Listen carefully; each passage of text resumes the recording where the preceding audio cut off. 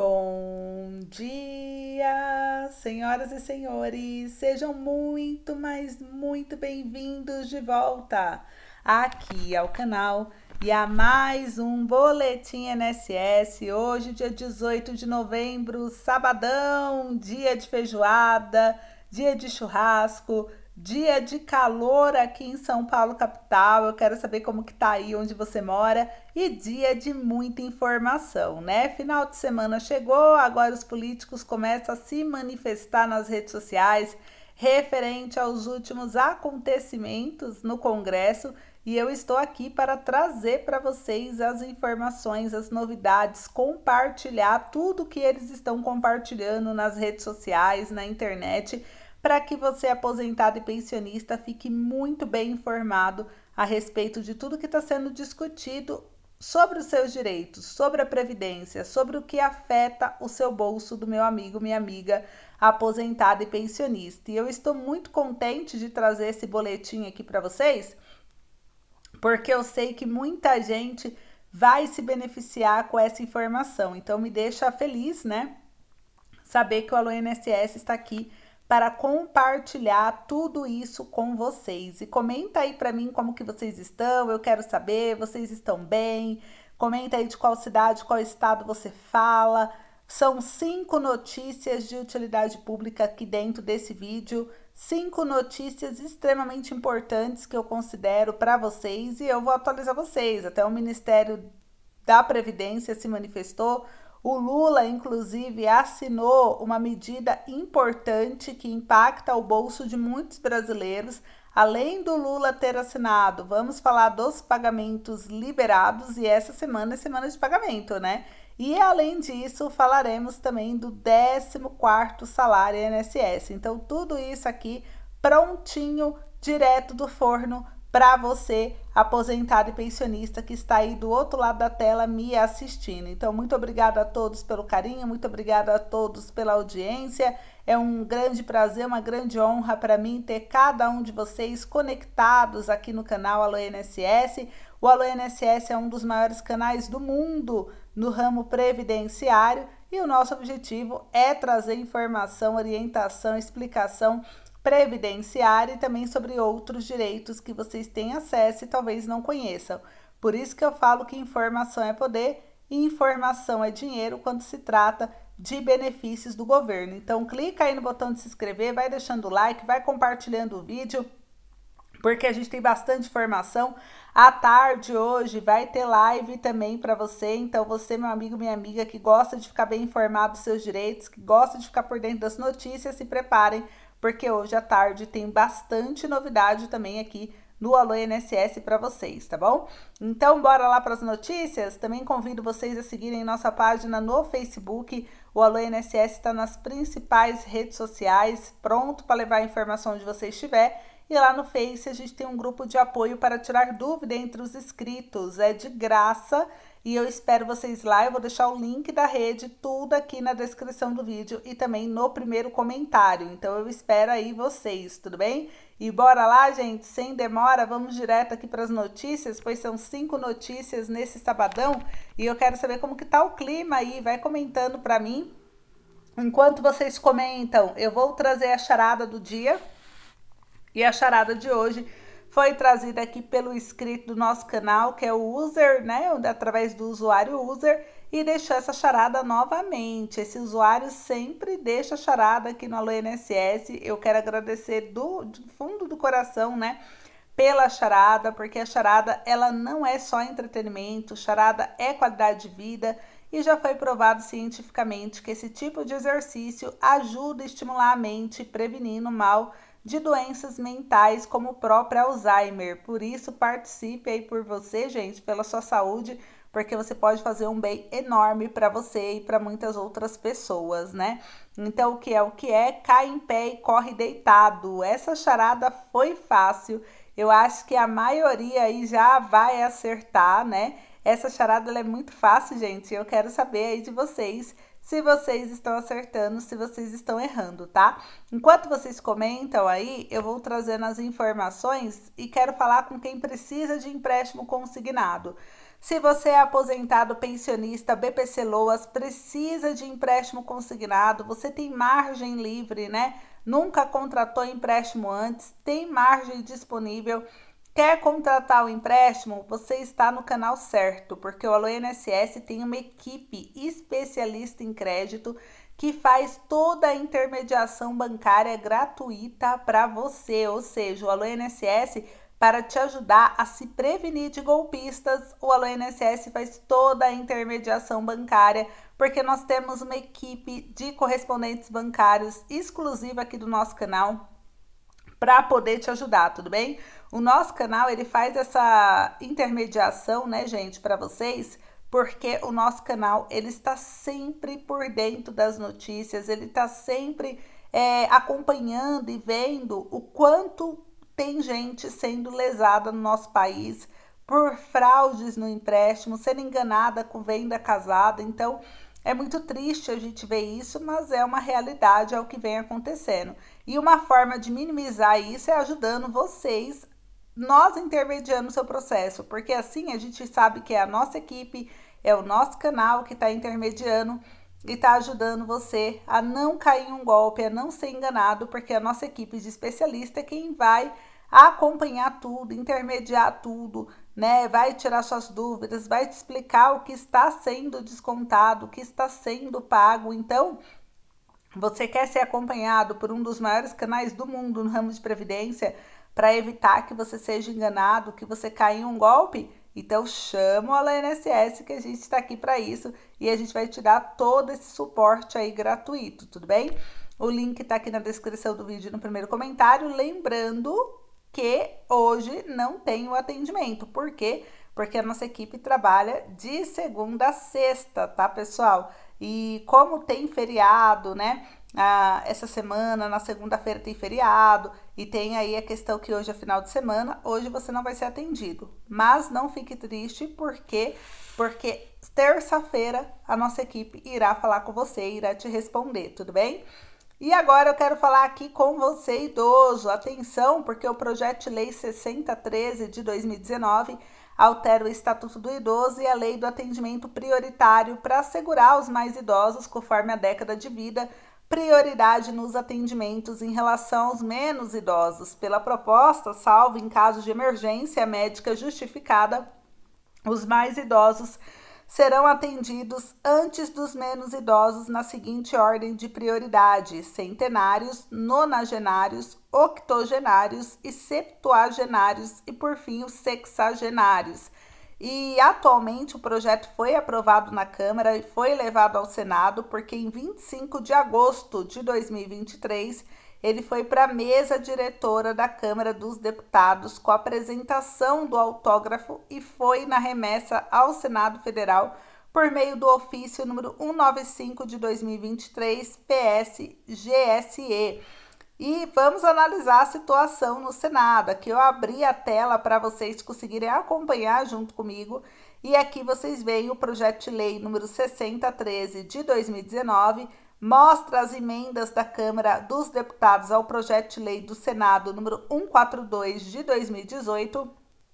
E aqui você percebe, né, que ele mostra que é iniciativa da senadora Simone Tebet, tá de autoria da Câmara dos Deputados, é o número do projeto 6013 e que ele traz a emenda da Câmara dos Deputados ao projeto de lei para poder estabelecer prioridade escalonada em favor dos mais idosos. A última movimentação ocorreu no dia 3 de outubro desse ano. A matéria está com a relatoria e a gente cobra para que ele possa avançar, porque é um projeto importante. Claro que dentro, por exemplo, de uma questão de saúde, a prioridade vai ser sempre aquele que está com o caso mais urgente, né, gente? É importante saber disso. Você está com o caso mais grave, você vai ser atendido primeiro. Mas no dia a dia, com questões cotidianas, né, dependendo de onde você está na fila, vai ter essa regra de prioridade de atendimento. Então, os mais velhos, eles vão ser atendidos primeiro. Comenta aí o que, que vocês acharam, vocês gostaram, vocês não gostaram. Vão comentando aí enquanto vocês comentam eu vou trazer nas outras notícias porque eu tenho algumas informações rápidas e que são extremamente importantes e que eu gostaria de compartilhar com vocês. Então eu vou compartilhar aqui agora. Olha só, primeiro, você tem um projeto de lei por aí?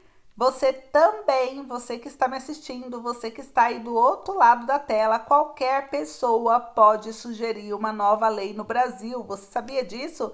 Você sabia que tem como você participar, você sugerir um projeto de lei que tem chance dele virar uma lei mesmo. E todos vocês podem participar das atividades do Senado.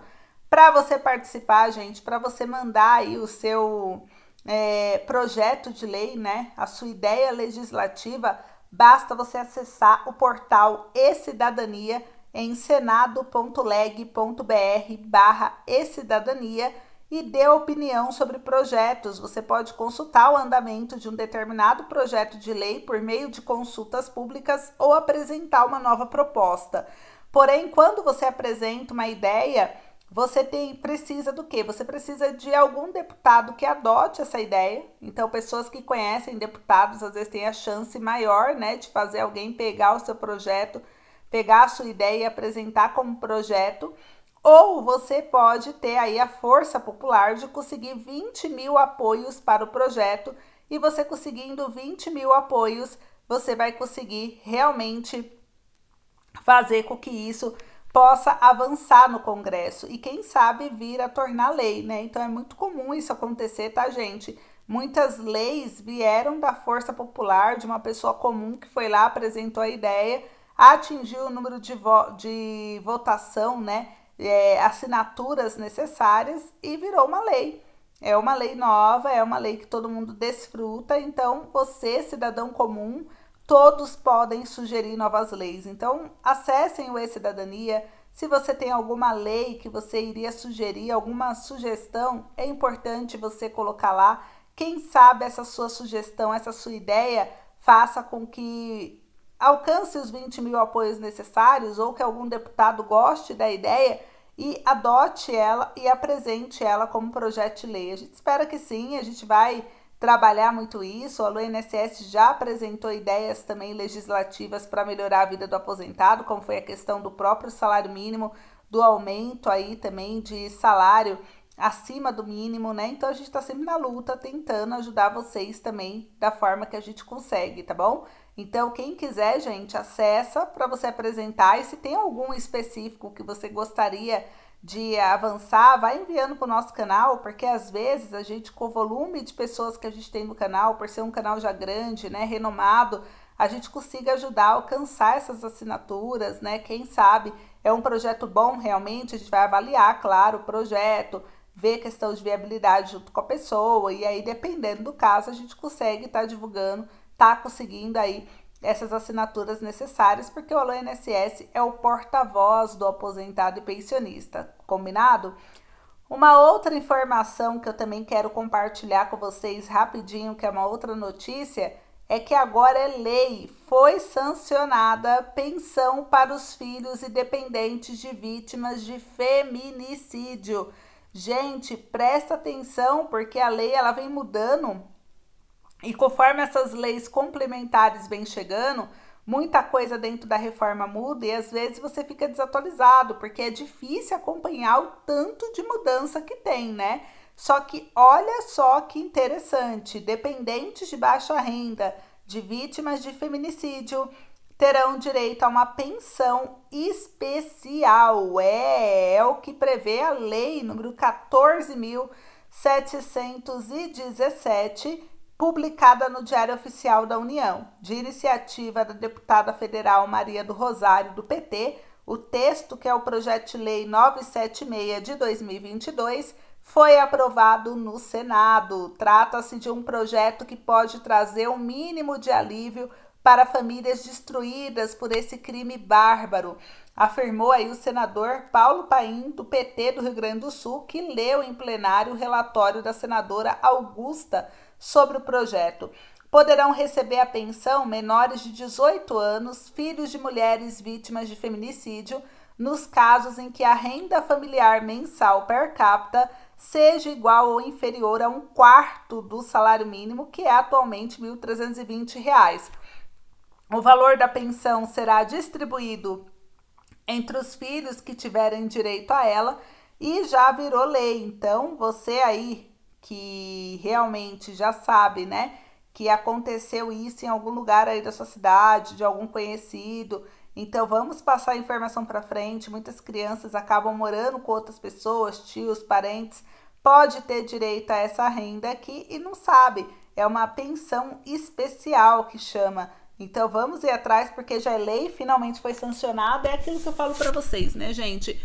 Todo projeto de lei tem chance de virar uma lei, né? Toda lei começa como um projeto de lei. Então, como é importante a gente ver projetos que conseguiram ser sancionados e viraram lei, é pouco conhecido, é pouco divulgado, é pouco explorado, mas existe. Muita gente duvida, mas existe. Essa é uma prova viva e eu fico muito feliz de ver que foi aprovado. Eu acho que é uma questão de justiça aí. E vamos acompanhar bem de pertinho a evolução e, o, e a divulgação dele, né, gente? Eu peço muito o apoio de vocês sempre para estar tá divulgando, para estar tá ajudando, porque muitas famílias podem ter direito, não faz a mínima ideia. E você divulgando, você ajuda essas famílias a terem conhecimento e conseguir desfrutar de mais um benefício aprovado em lei no Brasil. E agora, Vamos para uma outra notícia, que é uma terceira notícia que eu quero compartilhar com vocês, que também é lei, né? Agora é lei, que é uma nova lei que retoma obras paralisadas na saúde e educação. Então, obras paradas na saúde e educação, o que, que aconteceu, né? Várias polêmicas aí que estão ocorrendo na internet, no mundo digital, sobre os políticos, do que eles planejam fazer, do que eles pretendem aprovar, né? E tudo isso impacta o bolso do aposentado e pensionista e também pode ser algo benéfico para você que está esperando algo disso acontecer. Mas olha só, junto comigo, pensa aqui. O que está acontecendo, né, Ana? O que está acontecendo, gente, é que o presidente Luiz Inácio Lula da Silva ele sancionou a lei que cria um plano para retomada de obras nas áreas de educação básica, educação profissionalizante e saúde. De iniciativa do Executivo, que é o governo do Brasil, a Lei 14.719 do ano de 2023, ela foi publicada no Diário Oficial da União. A intenção do governo é aplicar cerca de 4 bilhões de reais até 2026 os recursos são do Fundo Nacional de Desenvolvimento da Educação, que é o FNDE, e o prazo para a conclusão das obras é de dois anos, com possibilidade de prorrogação por igual período.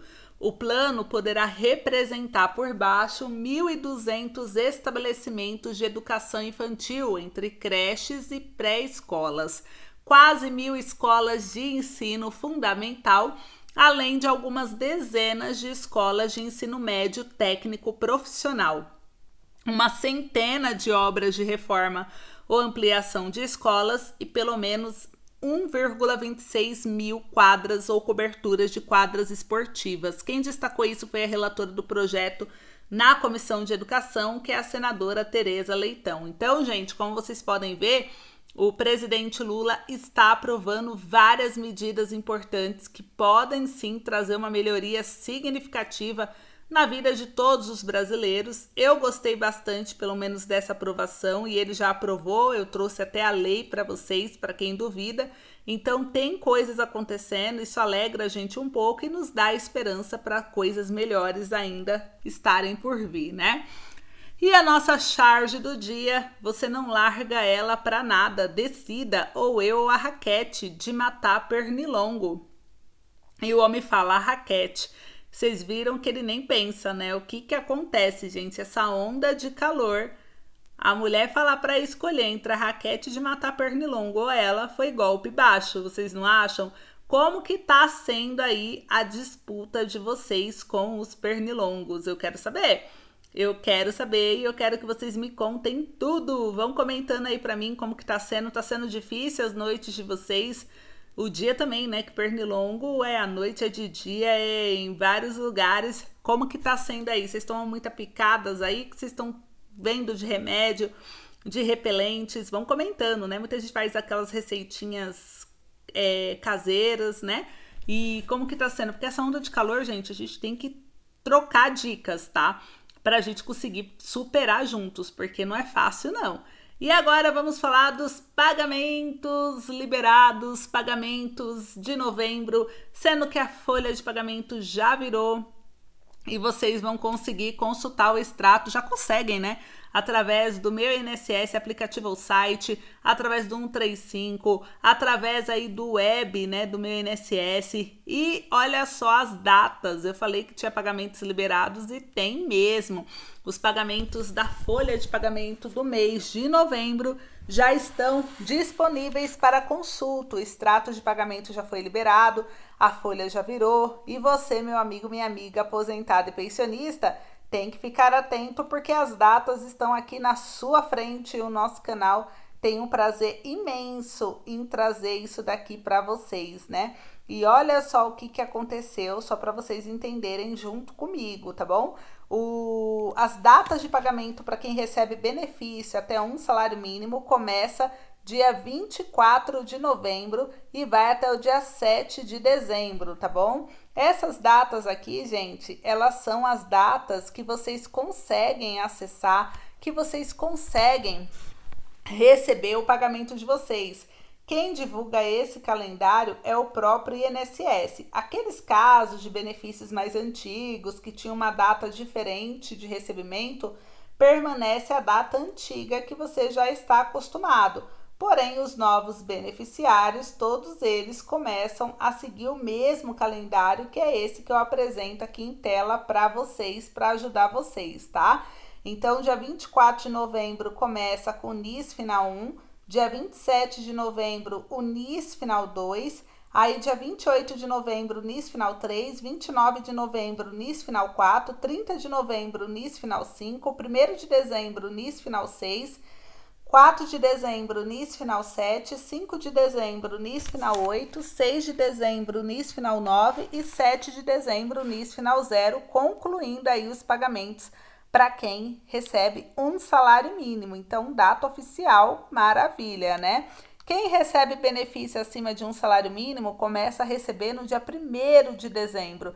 Então, os pagamentos vão do dia 1 de dezembro até o dia 7 de dezembro, de acordo com o final do NIS. E aqui tem as datas mostrando certinho aí para vocês, né? Então, presta atenção aqui para vocês enxergarem e vocês não se confundirem, gente, porque eu não quero ninguém se confundindo, eu quero que vocês entendam cada detalhe. Olha só, dia 1 de dezembro vai ser o NIS final 1 e 6, tá bom? 4 de dezembro é a vez do NIS final 2 e 7.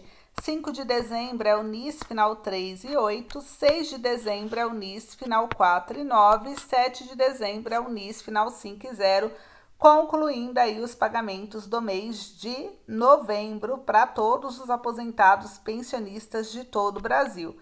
E agora eu quero falar com você, meu amigo, minha amiga aposentado e pensionista que precisa de óculos. Preste atenção, porque se você precisa de óculos, aqui pode ter a solução que você tanto busca. A gente sabe que os aposentados, eles ganham pouco, salário baixo em sua grande maioria.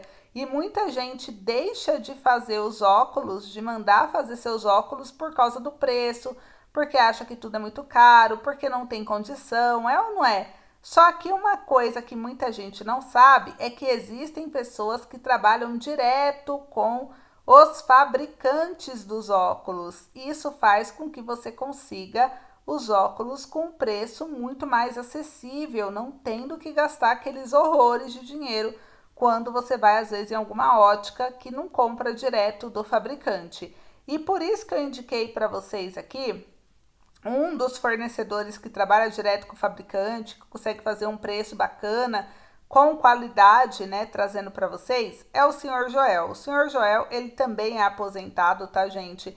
Ele é um senhor que trabalha há muitos anos com óculos, então ele sabe o que ele faz, ele tem os fornecedores certos e ele consegue trazer óculos de qualidade por um preço acessível para que todo mundo consiga ter o seu óculos. Então, se você quer ter um óculos para cuidar da sua saúde, né, para cuidar da sua visão, a gente sabe que a visão é um dos sentidos mais importantes que a gente recebeu. Então, vamos cuidar dela, tá, gente? Não deixa a visão por último, não Porque se seu problema é dinheiro, talvez a solução esteja aqui. Vale a pena você fazer um orçamento sem compromisso e conferir. Vai que cabe no seu bolso a solução que ele vai apresentar. Simule, faça uma simulação sem compromisso. Então, se você já possui a receita do oftalmo, porque se você usa lente com grau, você tem que ter a receita do oftalmo, senão o senhor Joel não vai conseguir consultar para você, né, o orçamento. Então, ele precisa saber qual é o grau certinho para não dar erro, para você não se confundir. Então, tem que ter a receita médica. Ah, Ana, não tem a receita. Então, você tem que passar no médico, marcar uma consulta, pegar essa receita com o oftalmo, porque sem a receita, como que você vai fazer? Então, quem tiver interesse, o DDD é 11, número 9, 8763-5839. O senhor Joel atende todo o estado de São Paulo, porque ele é de São Paulo, mas ele também atende várias regiões que não são de São Paulo, tá? Então, se você não é de São Paulo, vale a pena de qualquer forma mandar uma mensagem para ele, porque vai que ele atende a sua região. Então é bom perguntar, perguntar nunca é demais. O número dele tá na descrição do vídeo no primeiro comentário.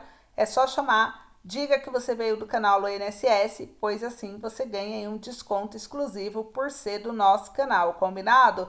E agora, gente, vamos trazer aqui sobre o 14º salário e também falar dos direitos dos poderes. Começando aqui com a reflexão de hoje, que é com o direito que os deputados têm, como por exemplo, o decreto legislativo número 172 de 2022. Vamos analisar aqui juntos, né? O decreto legislativo número 172 de 2022, ele com o Congresso Nacional decreta através dele os subsídios mensais dos membros do Congresso Nacional, do presidente e do vice-presidente aí da República. E ele traz aí dos ministros do estado referidos no inciso aqui conforme determina a lei e que eu achei extremamente importante trazer para vocês. Então ele fala aqui as faixas de valores, né? Quem aí ganha 39 mil os deputados, os senadores, o presidente da República, olha só, eles ganham 39 mil a partir de janeiro desse ano. Aí, quando foi abril desse ano, aumentou para 41 mil. Quando foi o mês de fevereiro do ano que vem, agora, eles vão aumentar para 44 mil. Quando for fevereiro de 2025, vai aumentar para 46 mil. Então, um salário que era 33 mil aumentou absurdamente, aumentou um valor surreal, porque como que de 33 mil você vai para 46 mil? Isso é o que os deputados fizeram por eles. Porque enquanto isso daqui é importante a gente reforçar, porque enquanto a gente luta pelo 14 quarto, pelos direitos, gente, os deputados eles aprovam da noite para o dia o que eles querem beneficiar a si próprios e não para por aí. Olhem os direitos dos deputados. Os deputados federais têm os seguintes direitos e benefícios: salário, duas ajudas de custo, uma no início e outra no final do mandato, no mesmo valor do salário, auxílio moradia ou uso de apartamento funcional, atendimento médico e odontológico, para despesas relativas ao exercício das atividades no mandato, os deputados também têm direito a uma cota parlamentar e podem utilizar o serviço gráfico da Câmara. Com os recursos da verba de gabinete, podem contratar funcionários para trabalhar em seu gabinete em Brasília ou no estado. E enquanto isso, a gente fala que o 14º salário ele precisa ser aprovado. Porque as pessoas estão se perguntando por que, que não foi criado nem mesmo uma comissão especial mostrando que, que as pessoas aposentadas foram deixadas de lado. O, sendo que o 14 a gente está pedindo ele, o pagamento, uma parcela só, só para esse ano. É uma ajuda emergencial, é um auxílio emergencial. Ele não é permanente, ele é temporário. Então é um pagamento só em um único mês. E eles estão dizendo que não tem dinheiro, mas para aumentar o salário deles os benefícios deles eles têm, né? E sabe o que é mais interessante? É que o 14, como a gente viu, né? Os direitos dos deputados são muitos, né? E os valores altos. E vocês acham mesmo que não tem dinheiro para pagar o 14 salário? O autor do projeto de aumento dos deputados foi a própria Câmara. Ele foi criado dia 20 de dezembro e sabe quando ele foi aprovado? Na véspera, dia 22, ou seja, em dois dias o projeto foi criado, foi aprovado e enquanto isso, o 14 não é assim, né? Por que, que não foi rápido assim? Imagina, no dia que apresentou o 14, dois dias depois, eles vão votar tudo juntinho para poder aprovar. Não, mas o salário deles, eles fizeram isso. Para o aposentado, para o povo, para quem coloca eles lá e faz eles ganhar esses salários altos, eles não fazem. Por isso, gente, precisamos mostrar que o país tem dinheiro para ajudar as pessoas aposentadas e para aprovar o projeto de lei do 14º salário, principalmente com os altos valores dos direitos dos poderes, né? Então vamos mostrar a importância do projeto, não vamos desistir não. Enquanto a gente luta pelo 14º salário, a gente vê que outros projetos estão andando. Um deles é o Minha Casa Minha Vida, que a partir desse ano as inscrições já estão abertas para o Minha Casa Minha Vida para o ano que vem, 2024. O programa tem uma iniciativa federal, ele tem proporcionado a milhares de famílias em todo o Brasil a possibilidade de ter uma moradia própria e digna, principalmente quem tem uma renda bruta familiar inferior a 8 mil em áreas urbanas ou 96 mil anual em área rural. Vale salientar que Minha Casa Minha Vida terá algumas alterações esse ano que vem. Haverá um subsídio mais reforçado, taxas de juros menores e imóveis avaliados até 350 mil. As novidades na faixa de renda que, deverá, que será dividida em faixas de renda urbana e rural também são um destaque no programa reformado. O Minha Casa Minha Vida é destinado às famílias de acordo com a renda bruta familiar e as famílias são divididas conforme o tipo de área, urbano ou rural, e existem diversas faixas de renda, variando desde uma renda familiar mensal até R$ 2.640 até uma renda familiar anual de até R$ 96 mil. Reais e nas diretrizes recém-determinadas, benefícios temporários assistenciais ou previdenciários não são incluídos nas faixas de renda. Exemplos de tais benefícios: auxílio-doença, seguro-desemprego, benefícios de prestação continuada, Bolsa Família. Além disso, foi anunciado pelo governo que 50% das unidades do programa serão alocadas para as famílias que se enquadram na faixa 1, que é famílias que ganham até dois salários mínimos, e as pessoas em situação de rua também foram incluídas na lista de possíveis beneficiários. Então aproveitem porque as inscrições já abriram.